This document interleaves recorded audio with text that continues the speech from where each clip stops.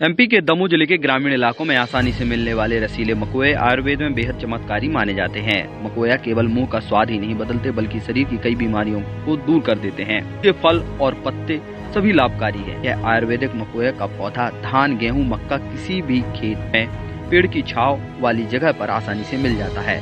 खासकर सर्दियों के मौसम में मकोए के पौधे उगते हैं। बिना किसी विशेष देखभाल के यह खरपतवार के रूप में उगता है।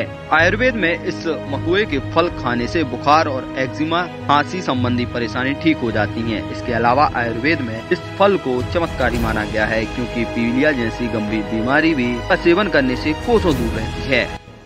मकोई एक जंगली फल है।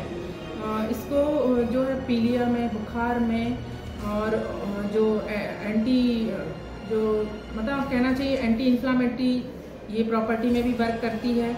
इसको अगर एक्जिमा में है तो उसमें भी इसका यूज़ किया जा सकता है। अगर सांस लेने में किसी को दिक्कत है अस्थमेटिक है अगर पेशेंट उसमें भी इसका यूज़ किया जा सकता है। इसके फल का यूज़ किया जाता है, जो बहुत साग सब्ज़ी के रूप में भी इसका उपयोग किया जाता है कई क्षेत्रों में।